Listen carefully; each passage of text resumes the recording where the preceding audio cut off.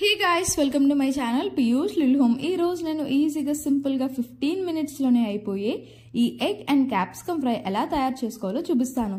దీని టేస్ట్ భలేగా ఉంటుందండి. ముందుగా స్టవ్ ఆన్ చేసుకొని ఒక ప్యాన్ పెట్టుకొని ప్యాన్ కాస్త హీట్ అయిన తర్వాత మూడు నుంచి నాలుగు టేబుల్ స్పూన్ల వరకు ఆయిల్ వేసుకోవాలి. ఆయిల్ కాస్త హీట్ అయిన తర్వాత ఒక కప్పు సన్నగా తరిగిన ఆనియన్ ముక్కలు రెండు నుంచి మూడు పచ్చిమిర్చి చీలికలు కూడా వేసి పచ్చివాసన పోయేంత వరకు వాటిని వేగనివ్వాలి. చూడండి మధ్య మధ్యలో కలుపుతూ కాస్త ఆనియన్స్ కలర్ చేంజ్ అయిపోయాయి కదా.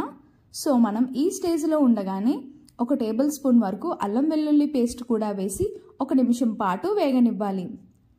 అది వేగిపోయిన తర్వాత ఒక కప్పు చిన్న చిన్న ముక్కలుగా కట్ చేసుకున్న క్యాప్సికమ్ ముక్కల్ని కూడా వేసి ఒక రెండు నిమిషాల వరకు పచ్చివాసన పోయేంత వరకు వేగనివ్వాలి. ఇప్పుడు అందులో ఒక టేబుల్ స్పూన్ వరకు సాల్ట్ చిటికెడు పసుపు వేసి వాటిని ఒక రెండు నిమిషాల పాటు కలపాలి. బాగా కలిసిన తర్వాత ఒక మూత పెట్టి ఒక రెండు నిమిషాల పాటు మగ్గించాలి. ఒక టూ మినిట్స్ తర్వాత మూత తీస్తే చూడండి అవి కాస్త మగ్గిపోయాయి కదా.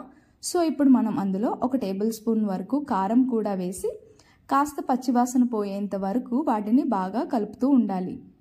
చూడండి కారం వేసిన వెంటనే కలర్ చేంజ్ అయిపోయింది కదా. సో ఇలా ఉన్నప్పుడు మనకి క్యాప్సికమ్ ఫ్రై అయిపోయినట్లే. ఇప్పుడు మనం ఇందులో ఎగ్స్ యాడ్ చేసేసుకోవచ్చు. సో నేను ఇక్కడ టూ ఎగ్స్ తీసుకున్నాను. ఎందుకంటే నాకు క్యాప్సికమ్ ఫ్లేవర్ ఎక్కువగా ఉండాలి కాబట్టి. సో ఎగ్స్ మీ ఇష్టం. మీకు ఎన్ని వేసుకోవాలనిపిస్తే అన్ని వేసుకోవచ్చు. ఎగ్స్ వేసిన వెంటనే కలిపేకండి సో ఒక టూ మినిట్స్ అలానే ఉంచేసేయండి. ఇప్పుడు ఎగ్స్ పైన కాస్త కారం చల్లండి. కాస్త ధనియా పౌడర్ కూడా. వేసి ఒక మూత పెట్టి ఒక టూ మినిట్స్ పాటు అలా వదిలేసి టూ మినిట్స్ తర్వాత తీస్తే ఎగ్స్ కాస్త ఉడికినట్లు ఉంటాయండి సో వాటిని మనం కలిపేసుకోవడమే.